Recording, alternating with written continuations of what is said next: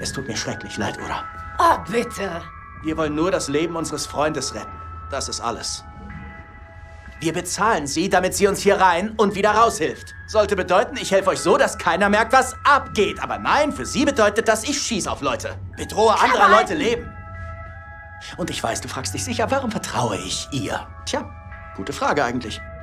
Die Antwort ist, wir, wir haben uns mal geliebt. Ja, sie war meine Freundin, nur weiß sie das nicht mehr, weil sie nicht sie war.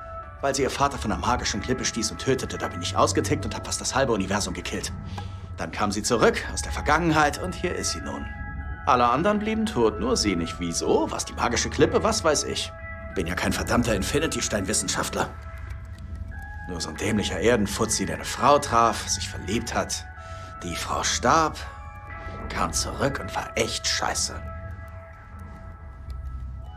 Er hat ein paar wichtige Infos unterschlagen, aber im Großen und Ganzen war es so.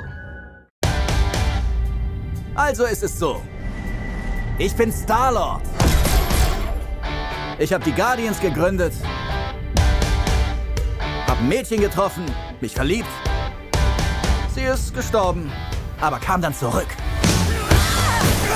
Kam zurück und war echt scheiße. Oh, bitte. Du hast ein paar wichtige Infos weggelassen, aber im Wesentlichen stimmt's.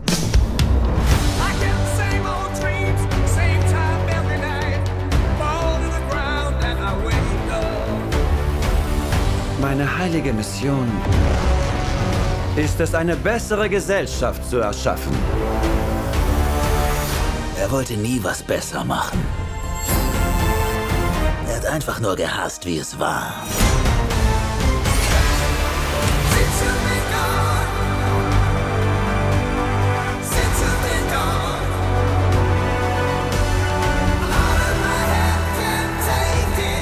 Wissen, ich bin dankbar, an der Seite meiner Freunde zu kämpfen.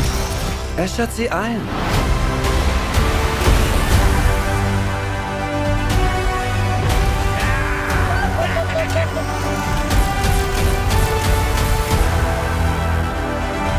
Wir haben immer nach einer Familie gesucht, bis wir uns gefunden haben.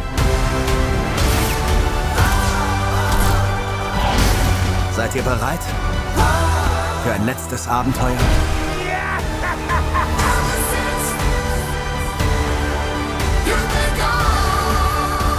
Gemeinsam fliegen. In den Unendlichen. Und wunderschönen Himmel.